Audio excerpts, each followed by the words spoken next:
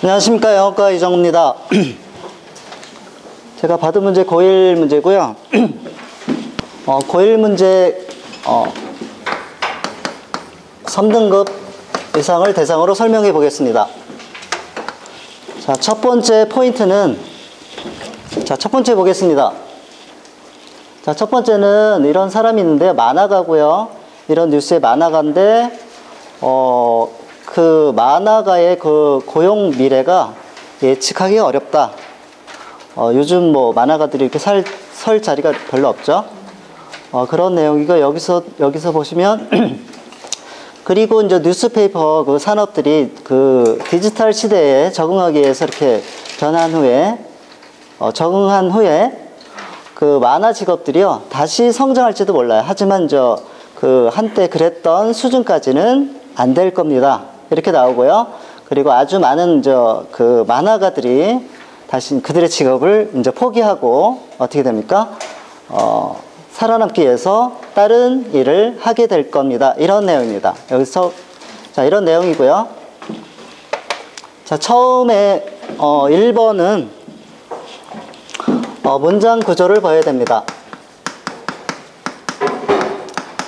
자 보통은 뭐 주어 동사 보어 그 다음에 주어 동사 목적어 목적보어 뭐 이런 형태로 나, 오겠죠 어, 쓸데없는 문장이 나와 있는지 보면 되겠습니다. 그리고 두 번째 보시면 어, 어, 만화 직업들이 다시 성장할지도 모르는데 하지만 그들이 한때 그랬던 수준까지는 안 될 겁니다. 이런 내용이거든요. 자, 두 번째는 자, 우리 대동사 받을 때 자, 비동사냐? 그 다음에 어, do, does, did.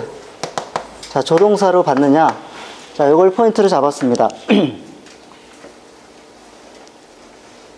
네, 윤정쌤, 제가 포인트 잘 잡았나요?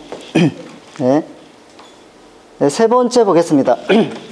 자, 세 번째 보시면 이제 직업을 해서 인터뷰를 하는데 신청자가 그 인터넷에, 인터넷의 중요성, 중요성에 대해서 얘기하기 시작했고요.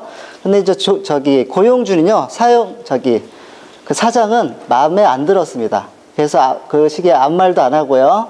그 젊은 사람에게 어떻게 합니까? 인터뷰에 대해서 감사하다고 말을 합니다.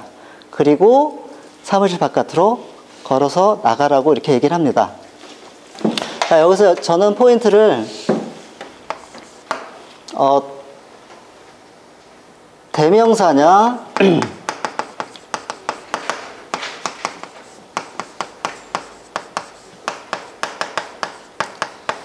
자, 제기 대명사냐, 이렇게, 어, 포인트를 잡았습니다.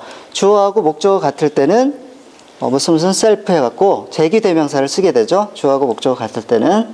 자, 그것, 그것을 포인트로 보겠습니다. 자, 그리고 4번 보겠습니다. 4번은 그 내용은 어, 용기에 대한 겁니다. 여러분도 알다시피 용기가 그 안쪽에서 내부에서 시작을 하거든요.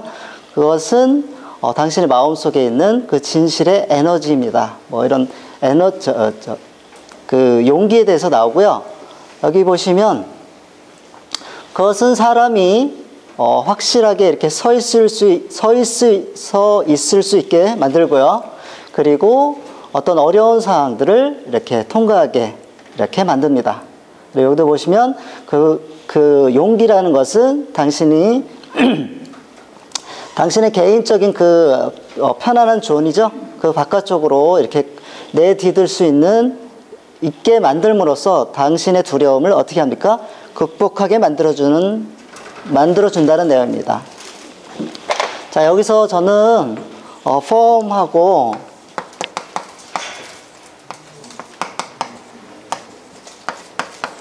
자, firmly의 차이점을 포인트로 잡았습니다. 자, 첫 번째, 첫 번째는요. 여기 이제 대절 다음에 여기 주어가 나왔거든요. 미래, 고용의, 고용 미래. 그 만화가의 고용 미래는 주어가 나왔고요. 그 다음에 이렇게 동사가 나왔습니다. 근데 여기 목적어가 나왔죠? to predict 다음에 이시 나왔는데 이것은 쓸데없는 게 되겠죠? 그 만화가의 고용 미래는 예측하기가 어렵습니다. 어, 그것을 했는데 그것이 뭡니까? 고용 미래죠. 그러니까 지워주면 되겠죠. 그죠? 자, 그래서 1번은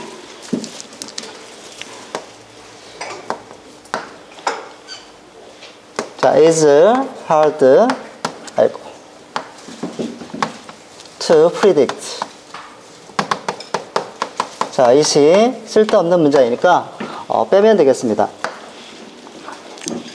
네, 두 번째는 아까 설명은 했고요. 이제 비동사냐, 저 조동사냐, 두 어, 조동사냐 이걸 보면 되, 겠는데 어, 희진 쌤 어떻게 바꿔주면 되겠습니까? 맞나요? 어, 다른 걸 바꿔줘야 될까요? 과거니까 did라고 바꿔주면 되겠죠? 그루를 받는 걸까? 옛날에 성장했던 그 수준까지는 안 될 겁니다. 이런 내용일까요? 네. 네, 3번 보겠습니다.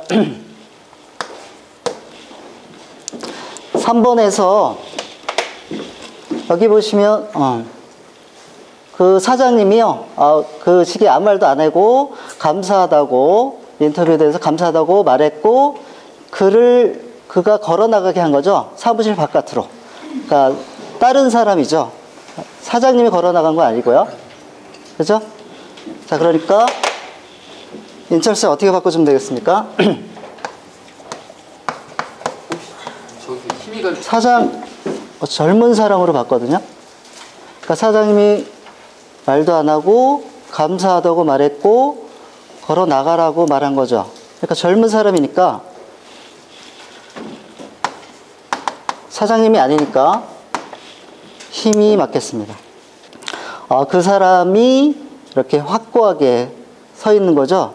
스탠드 다음에 효용사로 봐서 네. 저는 이제 form이 전체적인 문장에서 동사를 꾸며줘서 포인트를 제가 자- 잘못 잡았고요. 전체적 동사를 꾸며줘서 firmly라고 봤는데 여기 stand firm 어, 확고하게 서 있었다. 섰고, 확고하게 서 있게 만들었다. 이런 내용, 내용입니다. 그래서 형용사가 오는 게 맞겠습니다. 그거, 어, 그거 용기 있는 사람들이 이렇게 확고하게 어, 견딜 수 있게 만들어주고요. 가능하게 해주고 어려운 상황들을 이렇게 통과하게, 통과하는 것을 가능하게 해줍니다. 이런 내용입니다. 그래서 여기서는 펌이 맞겠습니다. 네, 비동, 비동사의 뜻이 자, 이렇게 어, 레벨이 나오고요.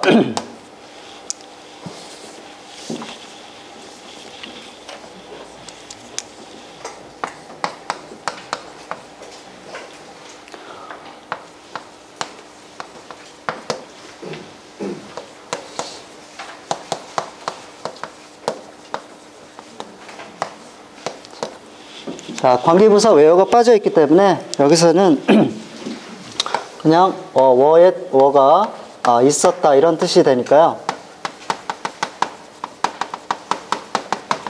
그냥 워로 써주면 되겠습니다. 네, 알겠습니다.